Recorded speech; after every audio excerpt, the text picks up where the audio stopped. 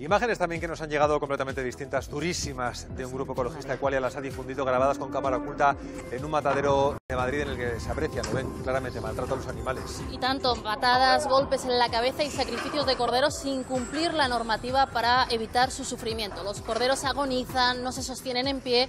Por ley, recuerden que deben ser sacrificados antes de llegar al matadero o en ese mismo momento. Además, incumplen gravemente las leyes de higiene y de sanidad. Se ve como un trabajador se orina en los mismos corrales. Aprovechando estas imágenes, han pedido también una campaña de recogida de firmas para solicitar la implantación de cámaras de vigilancia y que esto no vuelva a repetirse.